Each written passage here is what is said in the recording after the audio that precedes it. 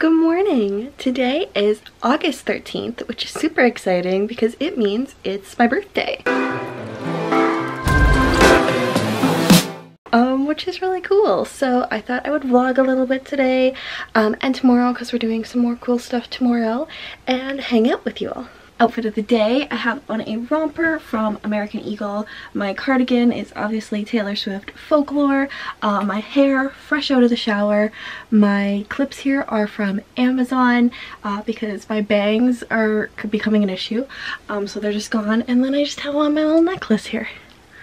So I'm with my mom in the car and start of the day we're going to this Amazon warehouse clearance center we're not 100% sure what it is. We've never been there before, but basically it's one of those places where Amazon Prime, if like you have an Amazon return, all their stuff gets dropped off to this location. And then every day, everything is a different price. So everything at the warehouse today is $10. People have walked out with like gaming consoles. Mom said someone came out with a Segway the other day. So lots of stuff there. We're gonna see kind of what we can find.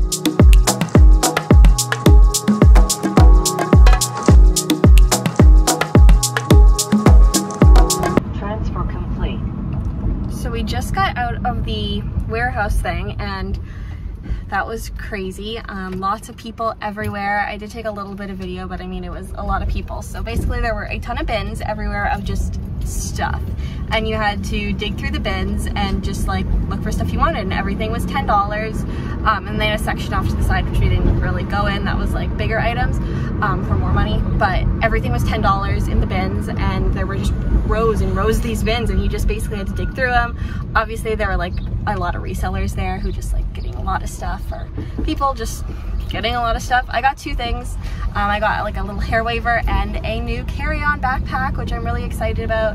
Um, and then mom got a couple things also. She got three things. But we do have to do a couple more errands. So we need to get some like cat food for Cody because um, he's going to be real mad if we don't get that. And just a couple other things.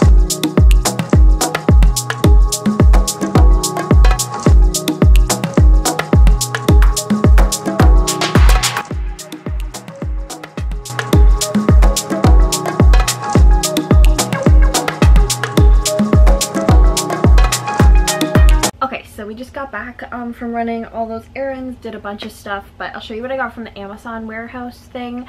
I wouldn't, I don't know if I would go back. Um, it was very junky. There were a lot of people there doing like eBay resellers kind of stuff. But here's what I got. So, first off, I got one of these like crimper waver things.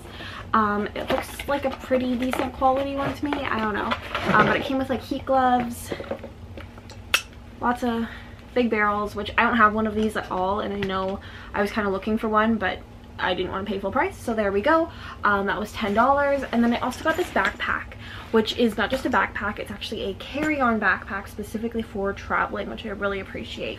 Um, so right off the bat, you have like a anti-theft pocket in the back, a strap that you can like hook it over your suitcase, um, tons of pockets. There's a laptop sleeve like right inside here and like just a ton of pockets. I think there's like four different sections in it and it's still really compact where it's going to fit under a seat, which I love. Now I have my free Starbucks, which I'm going to drink. I also have Cody. Cody right here. And we're going to edit a video, I think, that we didn't edit yesterday. And then I think I also have to take a brand Instagram photo um, today as well. So nothing too crazy.